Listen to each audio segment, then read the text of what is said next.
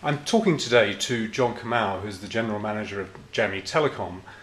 Jamii Telecom of Kenya has just announced that it's about to put in place a fibre to the home network.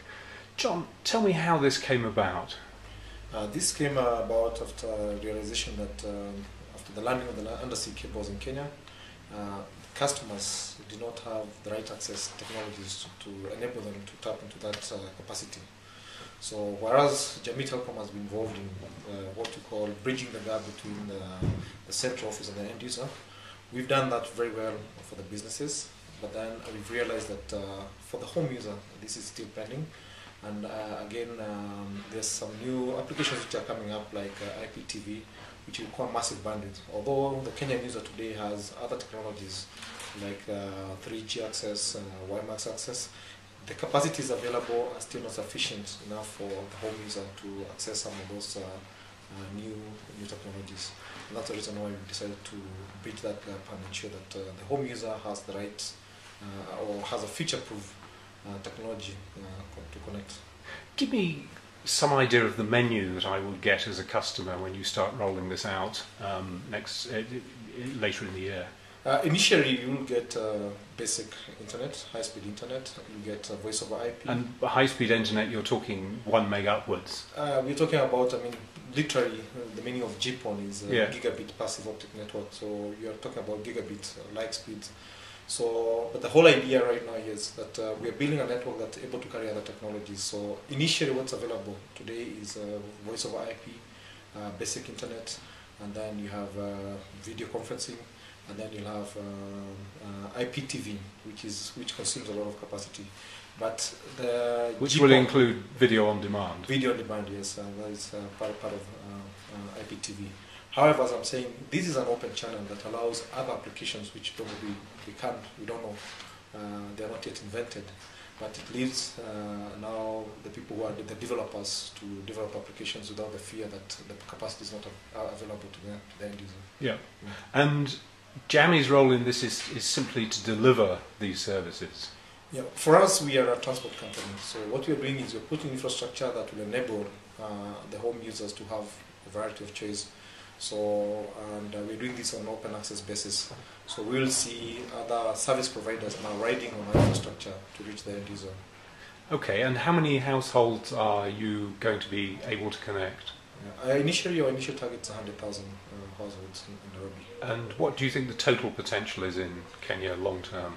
I mean, um, uh, it is very difficult to uh, predict a number. I think uh, what what we can say is that um, in Kenya we can only follow like what the mobile what we've seen in the mobile uh, sector. Mm. Initially, there were numbers being thrown out, but all these have been dis- disapproved. Mm. Uh, what I'm saying is that with the right application, with the right, uh, I mean, the right uh, pricing, then uh, I don't, I would probably think that we might uh, reach maybe not very close to what we have as, as uh, Mm. the mobile users.